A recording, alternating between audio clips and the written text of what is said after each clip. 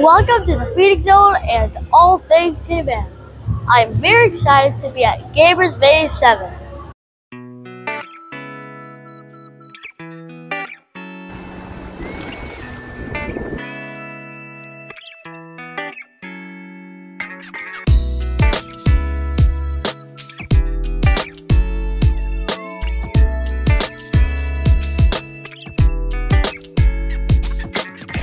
Attention gamers of all ages and generations for the ultimate gaming extravaganza, Gamers Bay 7.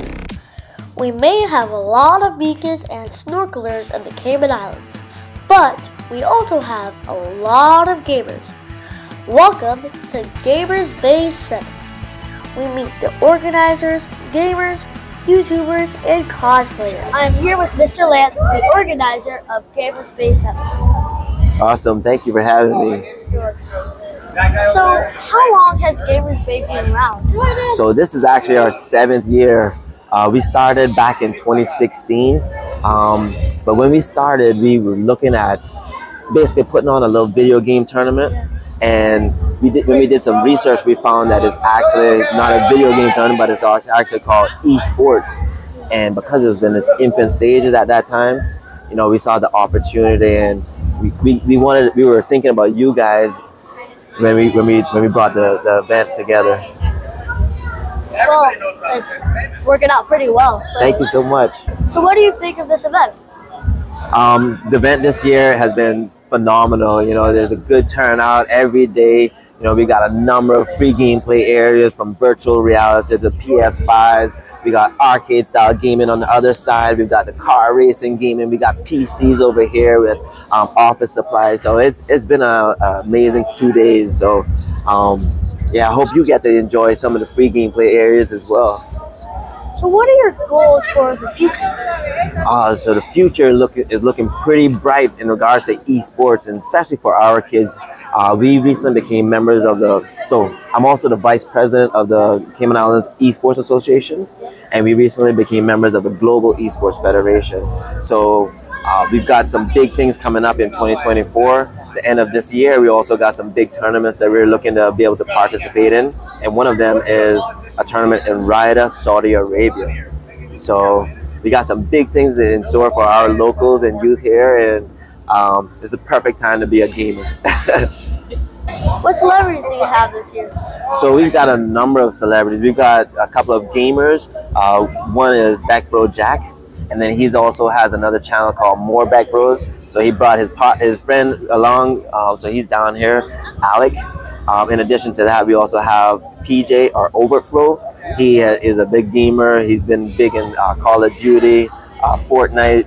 Uh, he's big on TikTok, watching, uh, playing Fortnite and giving away these V Bucks. So there's a. Um, in addition to that, we also have some cosplayers. So are you familiar with cosplay? Okay, so cosplay is when they put on these costumes like your favorite uh, superhero or uh, comic book character in anime, and it's just a fun time to dress up and showcase your creativity. So, what is your favorite cosplay to dress up as? So, I recently started doing a little cosplay. Last year was my actually my first year, and this year uh, I was Ant Man yesterday. So it was it was it was fun. It was exciting. Um, again, it's a fun time to put on put on a costume and just have fun.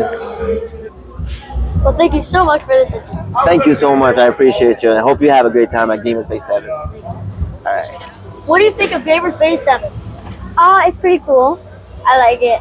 Um, I like that there's lots of video games because I love to play video games, and I like that I've got got to meet Beck Bros. So what do you think of Gamers Bay 7?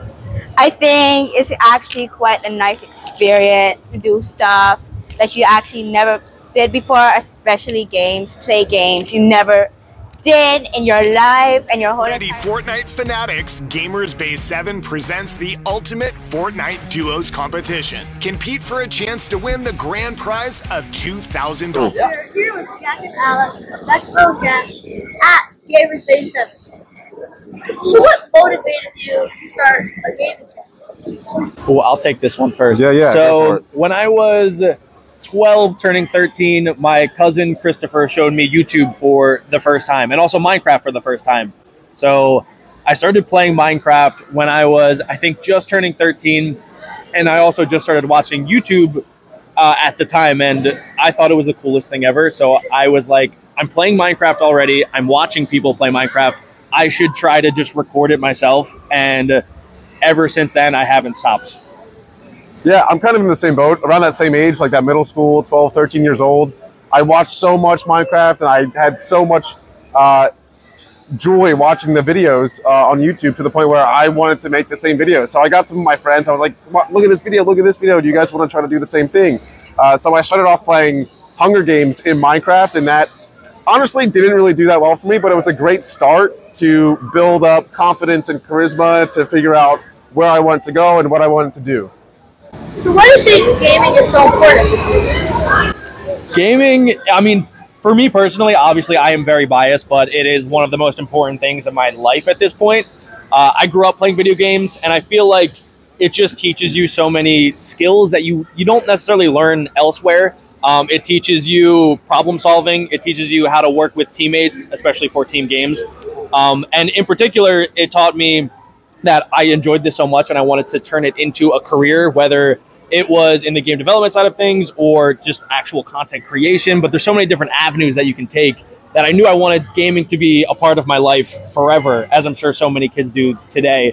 That it really has just taken my life and I, like my entire life is based around gaming and what's a new game that I can play and what how can I make this into a good YouTube video um, and how do I have the most fun with games? So it's really changed my life and so many people's lives Yeah, for the so better, in my opinion. Like, Yeah. go on Steam for a bit to just like find a good game. Yeah, uh, honestly, I couldn't agree more. That was a great answer. So totally agree with everything that he said. But I think it also gets a pretty bad rep, uh, specifically with uh, like your social skills. A lot of people, a lot of adults will almost shun gaming and say like, "Oh, you're not learning how to socialize or how to speak to people." Uh, I would. Depending on what game it is, at least that you're playing, I would almost argue the opposite. I remember I was a kid playing a game that was a little bit more adulty, where you had to communicate with other people and organize um, like special attacks on other groups, and you had to wake up at this time and, and coordinate when you're going to launch this attack and do that. And so I was doing that at such a young age that um, it really helped develop a lot of social skills uh, that I think really helped me later on in life. So yeah. When did you guys start making content? I started a little bit over a decade now. When I was 13, I uploaded my first video, I believe in 2013, January 2013. Yeah, that's true. I forget the exact year that I started. Uh, I know that we started around the same time though, around middle school. And the reason I know that is because we actually went to rivaling middle schools. Like my middle school was here and his middle school was there. And so I had heard about him and that's kind of, and we ended up going to the same high school together as well. So He was a big fan. I actually, wa- I did watch some of his videos before uh, going to high school. And so when I saw him for the first time, we played soccer together. I was like, oh my God, I know that guy. Um, so it was definitely a pretty cool moment. But um, yeah, we probably started around the same time, around middle school, 12, 13 years old. Yes, Yeah. very long time ago. So do you guys just play Minecraft or you play any other games? Um, so we started out with just Minecraft. I played some games at the start. I played a little bit of Rocket League. I played Overwatch, some World of Warcraft when I first started uploading content because I didn't really know what game was going to click for me. Minecraft inevitably became the game that like became my entire channel. Um, but yeah, I started out with so many different games, and to this day, I mean, Minecraft is like a top game. But I've also tried to diversify and pivot, which is important for I think content creators, where they get pigeonholed into one game or one thing that they do.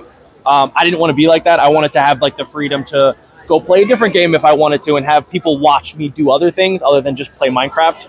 So I've gotten into Roblox. Uh, we've gotten into also just like real life content as well, where we're out at cool ev- events like this or out doing challenges or going to theme parks and just trying to make an interesting video that isn't necessarily just gaming these days. Like we're trying to do lots more things, including the gaming as well.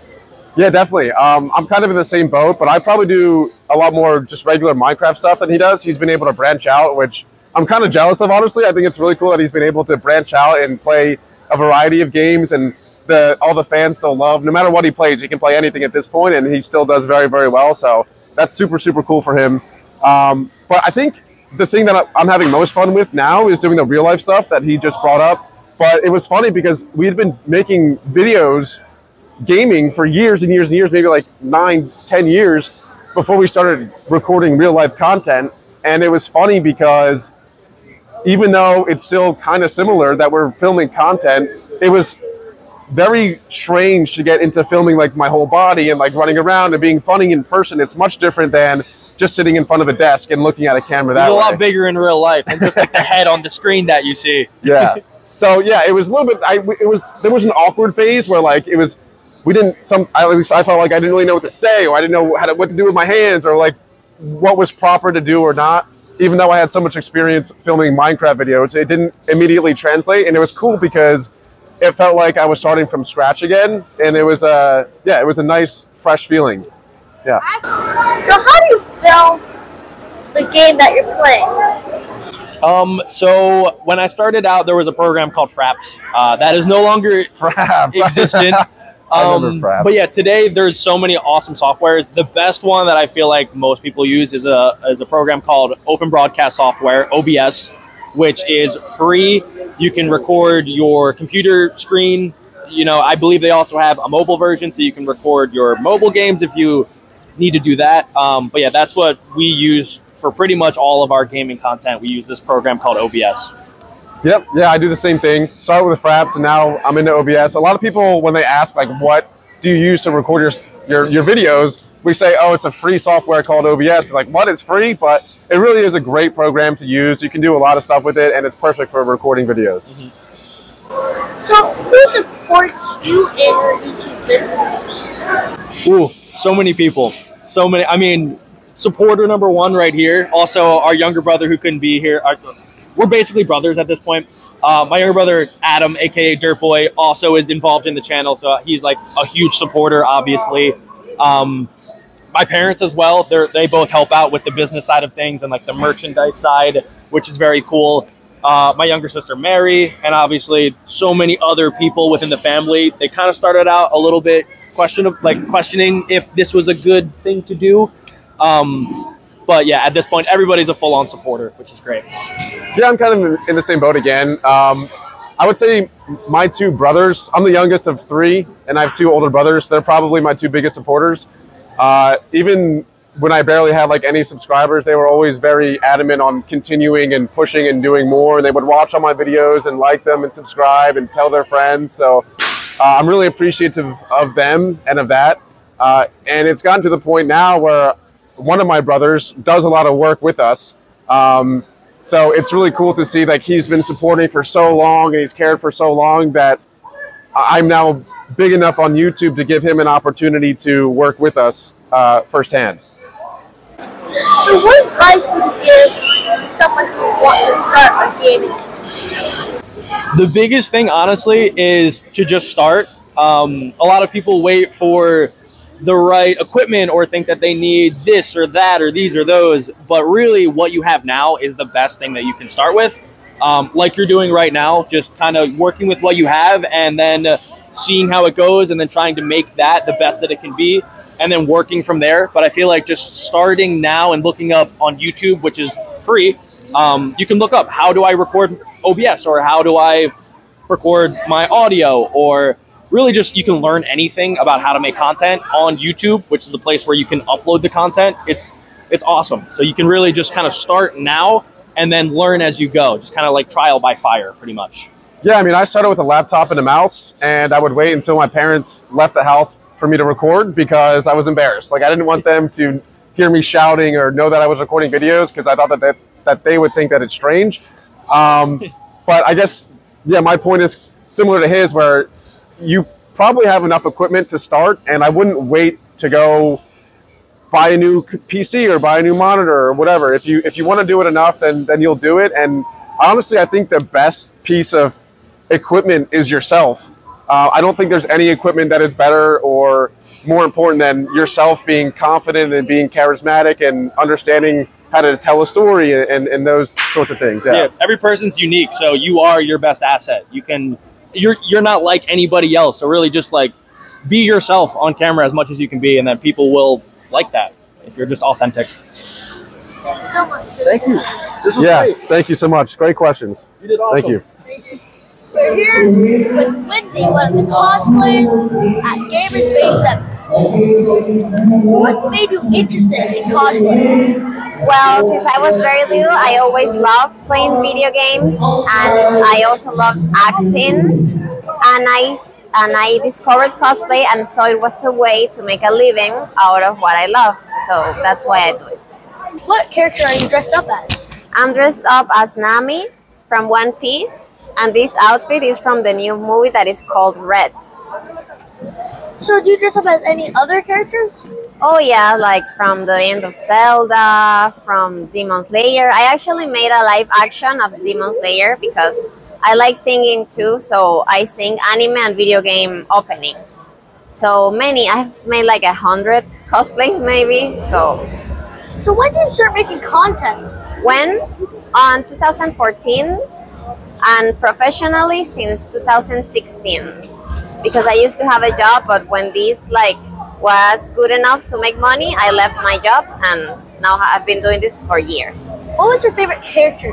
My favorite character is Link from The Legend of Zelda. He's my future husband. And what is your favorite games? My favorite games, I love Mario Kart, Animal Crossing. I love MMORPGs.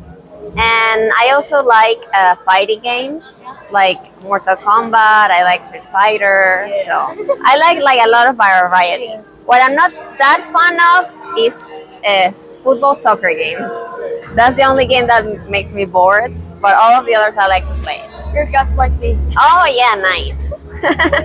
So what advice would you give to somebody who wants to start a YouTube channel and be a cosplayer?